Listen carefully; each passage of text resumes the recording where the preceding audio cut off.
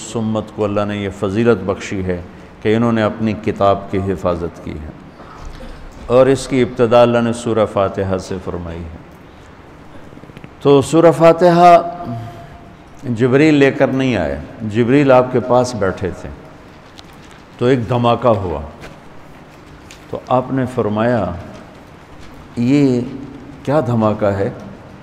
کہ یا رسول اللہ آج ایک دروازہ کھلا ہے جو پہلے کبھی نہیں کھلا۔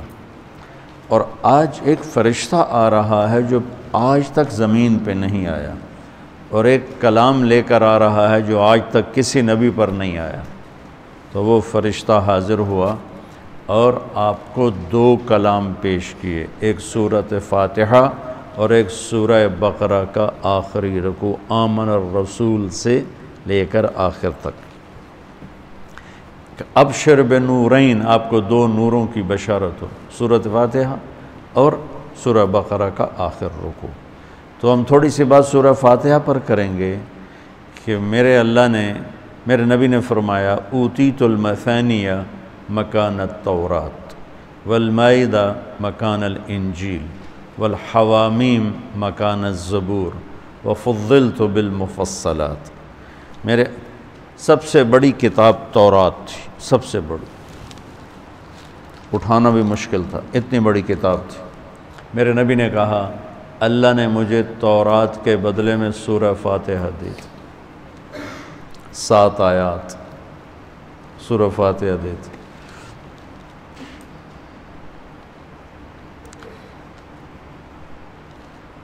اور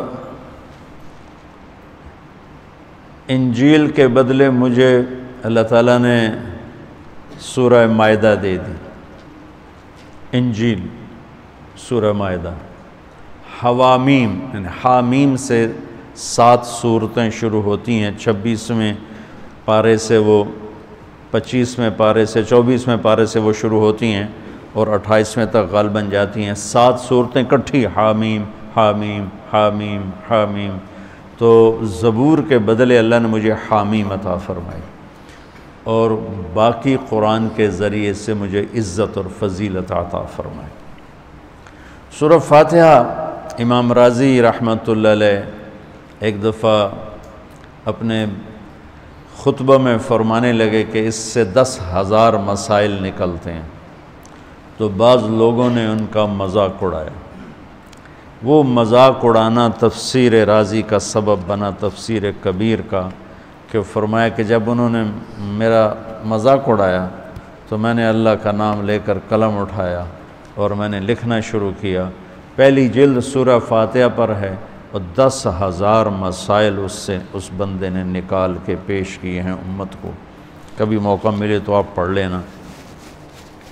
اور حضرت علی کا فرمان ہے امام المتقین۔ اگر میں سورہ فاتحہ کی تفسیر کروں صورت فاتحہ کی تفسیر لکھواؤں، تو ستر اونٹوں پہ لا دی جائے گی۔ ستر اونٹوں پہ۔ اور یہ خالی دعویٰ نہیں تھا، ایک حدیث اور سنو۔ ایک دفعہ عشاء کی نماز پڑھا کے تشریف فرما ہوئے اور فرمایا آؤ، آج میں تمہیں سورہ فاتحہ کی تفسیر سناؤں۔ تو شروع کرتے ہیں بسم اللہ سے۔ اور بسم اللہ کی با سے شروع کرتے ہیں۔ عربی میں تو حروف کا بھی مطلب ہوتا ہے نا۔ با کا مطلب بیان کرنا شروع کیا اور فجر کی اذان ہو گئی بات چل رہی تھی۔ سبحان ہم نے تو وہ، تم نے تو شاید وہ کتاب دیکھی نہیں، وہ شرح میں تعامل الباء للالساق مرر تو بے دن ہمیں تو بس اتنا ہی آتا ہے. یا حرف جر ہے، باؤ، تاؤ کاف و لامو، واؤ، منز و مزخلا ربا حاشا من عدا حتی کیا ہے؟ حتی الہ. وہ جو نحمیر زبانی یاد کی تھی. تو صورت فاتحہ سارے آسمانی کلاموں کا جتنے آسمان سے کلام اترے، کتابیں اتریں، اس کا خلاصہ ہے قرآن۔ اور قرآن کا خلاصہ ہے صورت فاتحہ۔ اور صورت فاتحہ کا خلاصہ ہے ایا کا نعبد و ایا کا نستعین۔ ایک اور طرح، سارے آسمانی کلاموں کا سردار ہے قرآن۔ اور قرآن کا سردار ہے صورت بقرہ۔ اور صورت بقرہ کا سردار ہے آیت الکرسی۔ اللہ لا الہ الا ہو۔ تو آسمانی علوم کا خلاصہ قرآن اور قرآن کا خلاصہ صورت فاتحہ اور صورت فاتحہ کا خلاصہ ای کا نعبد و ای کا نستعین۔ یا اللہ صرف تیری بندگی، یا اللہ صرف تجھ سے مدد۔ ای کا سارے طرفوں سے فیضا وَإِذَا سَأَلْتَ فَاسْأَلِ اللَّهِ وَإِذَا اسْتَعَنْتَ فَاسْتَعِنْ بِاللَّهِ إِيَّاكَ کہ یا اللہ صرف تیری بندگی اور یا اللہ صرف تجھی سے مانگنا تیرے آگے جو لب ہے، دنیا بھی اسی سے مانگنی ہے اور آخرت بھی اسی سے مانگنی ہے۔ اللہ کہ اللہ نے ہمیں دنیا پہلے سکھائی، آخرت بعد میں سکھائی۔ ربنا آتنا فی الدنیا حسنتا فی الاخرت حسنتا وقنا عذاب النار۔ تو سارے آسمانی کتابوں کا خلاصہ یہ ایک جملہ ہے، ایاک نعبد۔ اور بندگی صرف نماز نہیں، بلکہ پوری زندگی اللہ کی چاہت میں گم ہو جائے، ڈھل جائے۔ اور ہر ہر ضرورت میں اللہ اس کی طرف ہاتھ اٹھے، مخلوق کی طرف ہاتھ ایک ہوتا ہے ایک دوسرے کی مدد کے لیے بھائی بھائی اپنا ٹریکٹر دینا، یار میری جو ہمارے ہاں ہم ہم نے اپنی مثال دینی۔ جب ایک دم زمین تیار کرنے کا وقت آتا ہے، تو وہ تین ٹریکٹر بھی کافی نہیں ہوتے، تو ہم کہتے ہیں جی ذرا اپنے ٹریکٹر بھیج دینا، ایک ہی دن میں ہماری زمین ساری تیار ہو جائے۔ یہ ایک دوسرے کی امداد باہمی ہے۔ مدد جہاں انسان بے بس ہے، صرف اللہ ہی کر سکتا ہے۔ ان چیزوں میں اللہ کے سامنے جھولی پھیلانا، اسی کو پکارنا، اسی کے آگے ہاتھ پھیلانا اور اسی کے آگے سر جھکانا۔ حنین میں صحابہ جیسی ہستیوں نے کہا، آج ہمیں کوئی نہیں ہرا سکتا، ہم بہت زیادہ ہیں۔ اللہ نے ایک حلے میں اڑا کے سب کو کہاں سے کہاں بھگا دی۔ لن نغلب من قلت آج ہمیں کوئی نہیں ہرائے گا۔ تو پہلے حملے میں ہی قدم اکھڑے۔ اور صرف اٹھاسی آدمی اللہ کے نبی کے ساتھ رہ گئے، بارہ ہزار بھاگ گئے۔ پھر یوم حنین اذ آجبتکم کثرتکم فلم تغن عنکم شیء۔ تو میرے عزیز و صورت فاتحہ پورے قرآن کی چابی یہ تمہید ہے۔ قرآن توحید بتاتا ہے، رسالت بتاتا ہے، آخرت بتاتا ہے۔ صورت فاتحہ میں توحید بھی ہے، رسالت بھی ہے اور آخرت بھی ہے۔ الحمد للہ رب العالمین، الرحمن الرحیم، مالک یوم الدین۔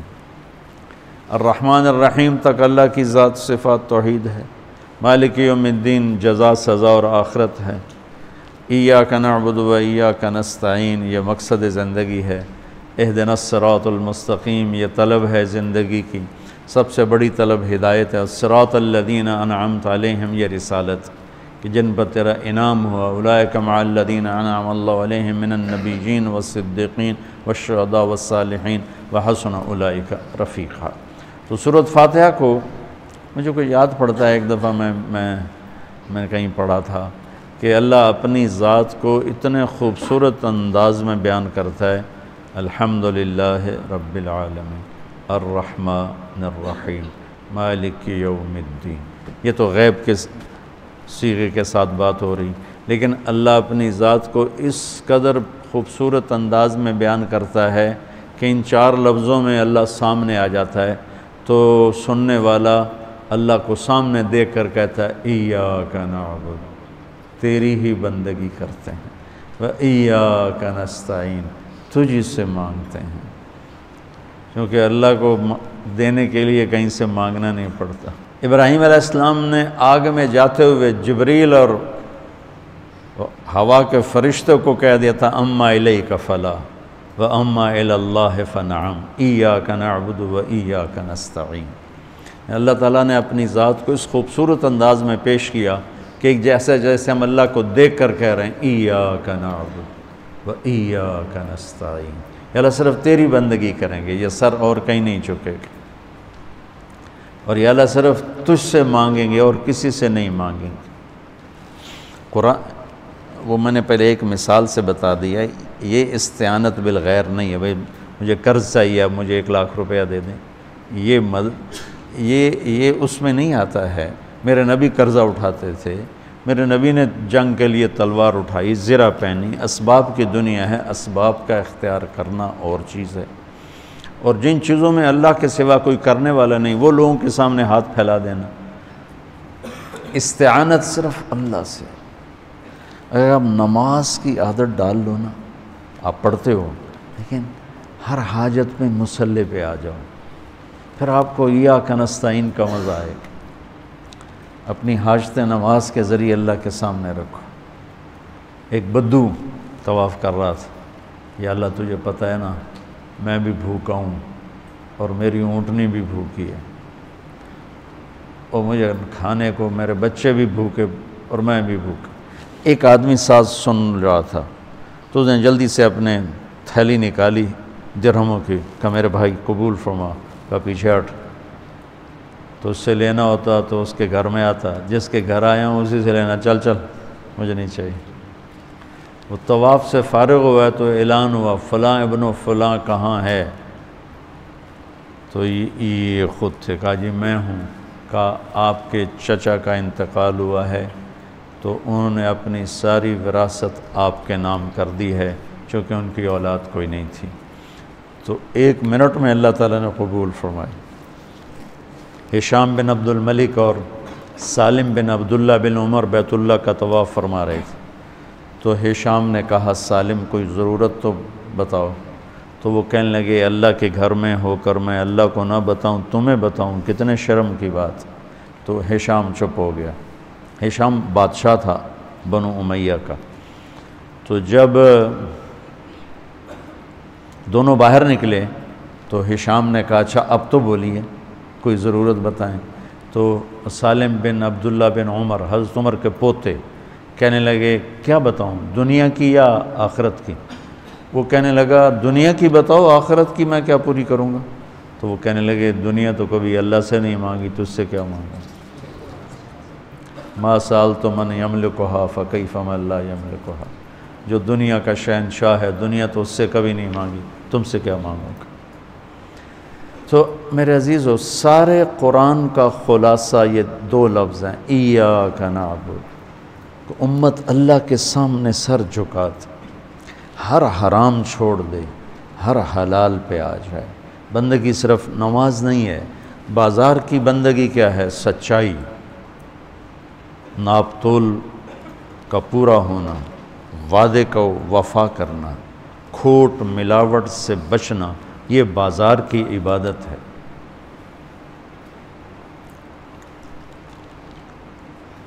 اقتدار کی عبادت کیا ہے؟ ظلم سے بچنا۔ اپنی طاقت سے کسی پہ ظلم نہ کرنا۔ انصاف کو ہاتھ سے نہ جانے دینا۔ وکالت کی، عدالت کی عبادت کیا ہے؟ ظالم کا ساتھ نہ دینا۔ سیاست کی عدالت کی عبادت کیا ہے؟ دنیاوی مفاد نہ اٹھانا۔ بلکہ قومی مفاد کے لیے اپنے آپ کو پیش کرنا۔ گھر کی بندگی کیا ہے؟ ماں باپ ہیں تو ان کی آنکھوں کی ٹھنڈک بننا بیوی ہے تو اس کے دامن کو خوشیوں سے بھرنا۔ اولاد ہے تو ان کو ایسی محبت دینا جیسے میرے نبی حسنین کو دے کر گئے تھے۔ یہ اس طرح عبادت پھیلی ہوئی ہے۔ بہن بھائی ہیں تو ان کے ساتھ شیر و شکر ہو کے رہنا۔ ان کی کمیاں زیادتیوں سے درگزر کرنا، یہ ایا کا ہے۔ صرف نماز کے اندر نہیں ہے ایا کا بلکہ پوری زندگی ایا کا ہے۔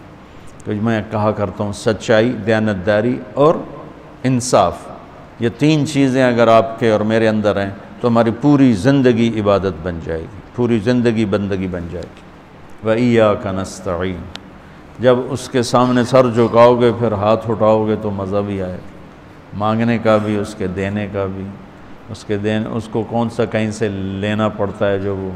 نباتہ بن یزید نقی رحمۃ اللہ علیہ۔ تابعین میں سے ہیں، اللہ کے راستے میں جا رہے تھے، گدھا مر گیا۔ تو نیچے اتر کے دو نفل پڑھ کے کہنے لگے، یا اللہ تو تو بے نیاز ہے، تو تو کسی چیز کی ضرورت نہیں، اور میں تو مسافر ہوں، مجھے اس کی ضرورت ہے، اسے زندہ کر۔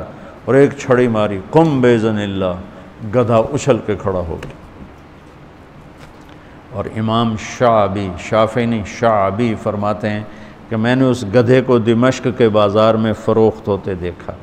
اور وہ نباتا پہلے فوت ہوئے کھوتا بعد مریا ایسی دعا قبول ہوئی۔